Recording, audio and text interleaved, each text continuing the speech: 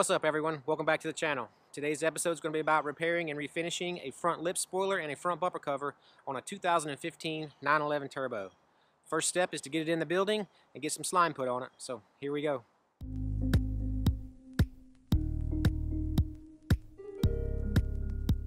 Alright, so let me show you what I mean by slime. This is what I call slime. It's uh, This actually brand is made by Bad Monkey and it's a aqua spray mask. And what this is basically is a film that you spray on the car and it dries to a non non-tacky film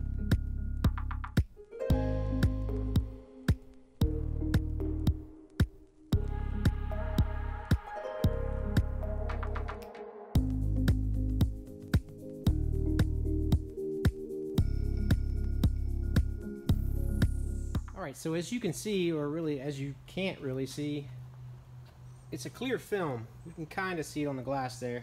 It's a clear film that you spray on the vehicle that uh, protects it from overspray. I masked off the front bumper because I'm going to be working on the front bumper and I didn't want this stuff on it necessarily. And after you're finished, you wash it with water and the film turns into soap. It just washes off just like soap and water. It's an extra step. I still put plastic on the vehicle but sometimes overspray can get up underneath the plastic so this is a, an extra layer of protection from overspray.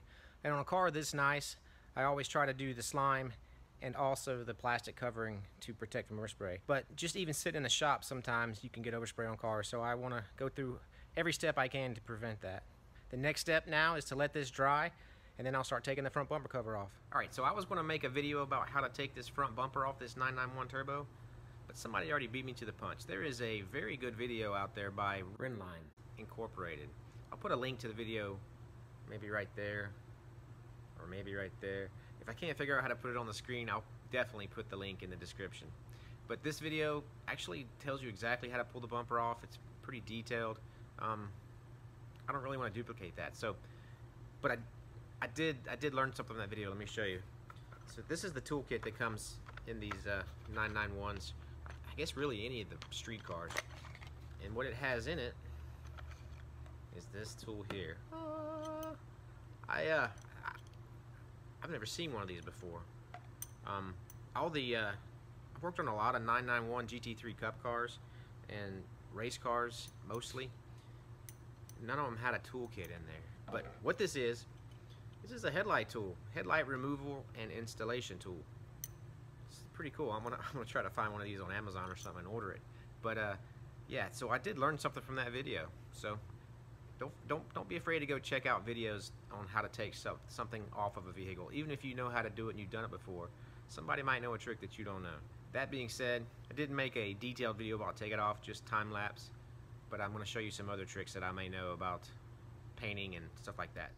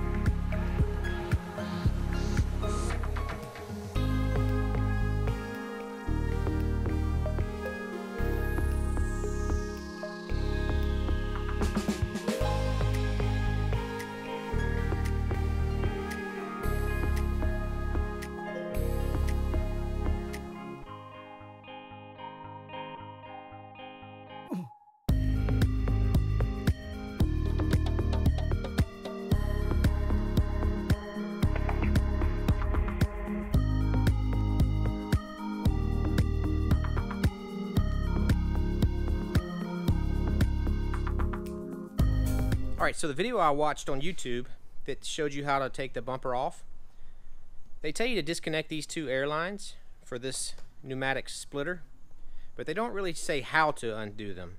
So I had to kind of fight with them, and uh, I finally figured them out. I want to show you how it's done. Let me see if I can hold this camera and show you how it's done. I'll show you on this end. It's the same kind of connection. So basically, this is the pneumatic line, this is the fitting. If you this little there's a ring around here. If you'll grab that ring and pull it, just push it back that way, push it back that way, you can pull this apart. And that's all it is. And if you'll look down inside there, there's little teeth, and this actually releases the teeth. So to put it back together, all you do is put it in there and lock it in and it's done. Alright, so we're going to be repainting this bumper and the main defect is, I don't know if it's showing up on camera or not, but you can see it's like peppered with little really small rock chips. There's a couple bigger ones that he has touched up. But we're to try to do minimalist approach to this. We're to sand it with 600 wet and try to knock some of this rock chips out and get it as smooth as possible without priming it. And then I'll seal it white and base it out white and clear it and all of those really small rock chips should go away. So the next step to this bumper is to get it wet sanded with 600. All right, so we're going to be sanding the Porsche bumper with this 600 grit wet or dry sandpaper. Fold up into three parts like I just did there. Three equal parts. One, two, three.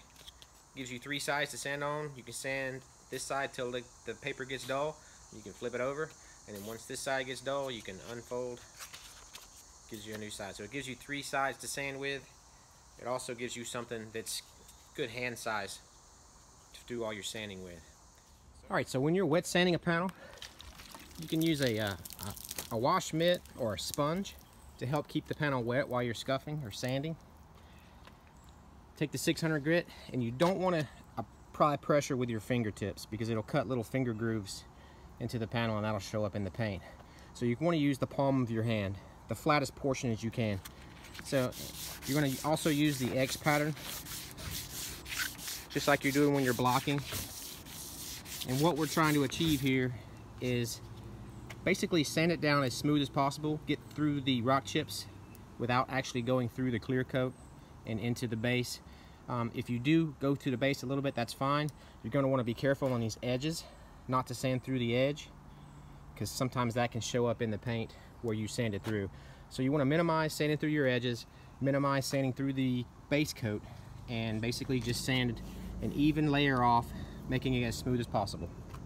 So here we go, we're going to start on that.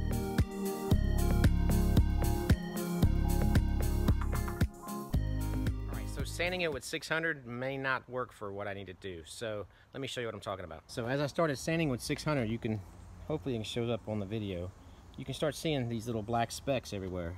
And those are rock chips that are down to the plastic. And there's actually a lot more than initially thought.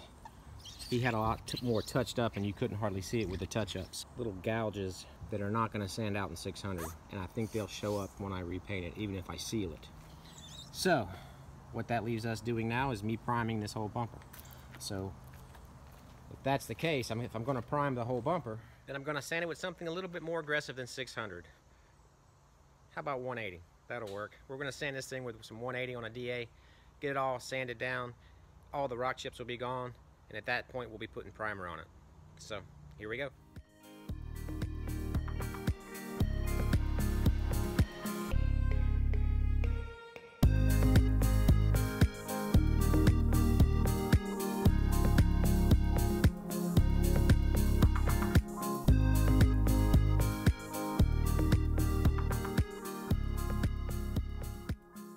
All right, so you can see I had to sand through all the way to the plastic to even come close to getting some of these rock chips to go away. And that's fine if you're going to be priming. Like I said, see how I sanded through the edge right here? You would not want to do that if you were going to be finishing the sand in 600 um, and, and painting right over that. Even if you were sealing it, because that might show up as a little ring right there. But since I'm going to be priming it, going through the uh, paint layers down to the plastic is really not that big a deal. All right, we've got the bumper DA'd 180. Let me show you the spoiler, what we've got to do to it. All right, so this is the front lip spoiler. And as you can see, it's got a little bit of curb rash there. We're going to jump on this with some 180 and try to get this smoothed out as best as possible. I don't want to put filler in it, but I might have to put because these are some of these are pretty deep. But we're going to get this sanded smooth with 180. He's got a little bit on the other side too. Let me show you. It's got really light scratches here that I'll be 180 and out also. So we're going to 180 this. A lot of this is really thin, so the DA, I'll hit the flat areas where I can, but a lot of this is going to be hand sanding, so I'm to get right on that now.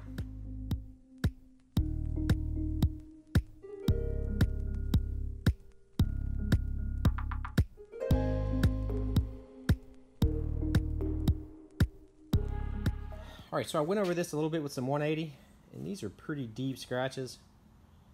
And remember how I once told you don't sand raw plastic with 80 grit because it hairs it up? I guess this might be the exception to the rule because it's already haired up.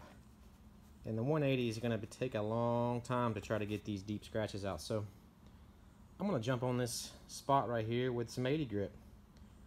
Since it's already haired, I really can't make it hairier than it is. So, And what I mean by hair it up, I don't know if you can see it. There's a little bitty fibers sticking up. It's fibers of plastic, really. It's just little pieces of plastic sticking up. So, since it's already haired up, we're going to jump on this with some 80 and see if we can make quick work of these deep scratches.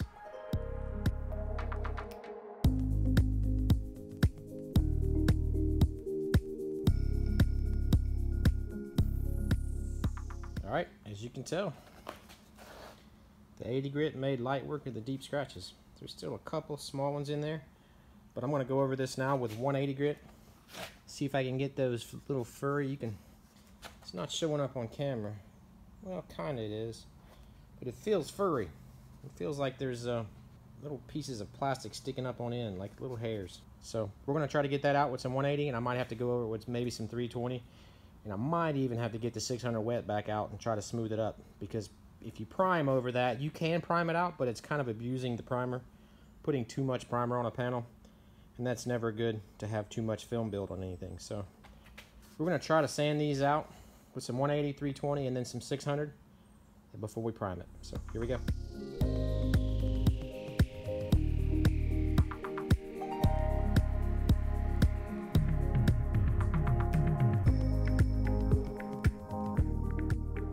We got all the DAing done. We're going to take the old piece of 180 grit DA paper, fold it over, make the sandpaper taco. We're going to go over all of the spots we couldn't hit with the DA.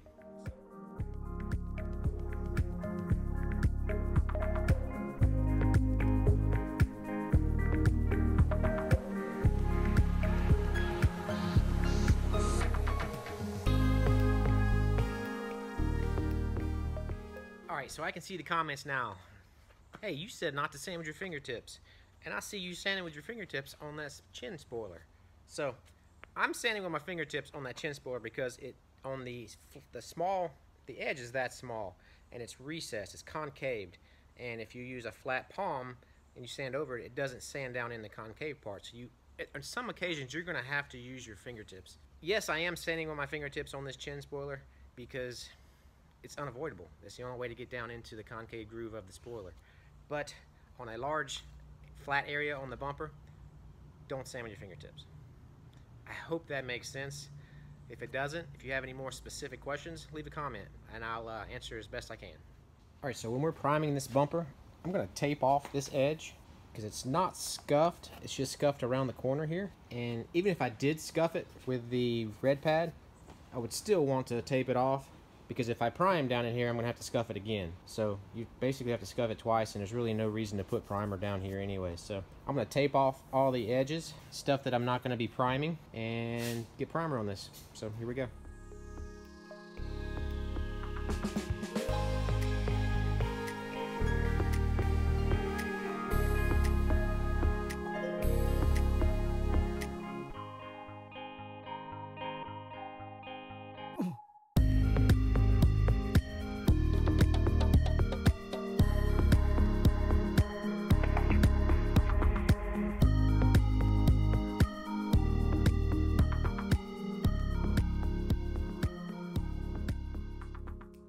Pearls of wisdom from an old dirty body man. If everything seems under control, you're not going fast enough.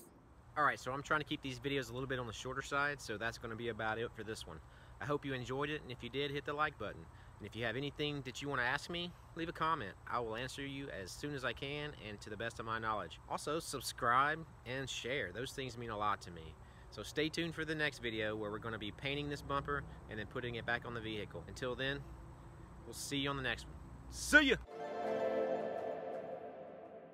It's gonna be a bit about it. It's gonna be a bit about.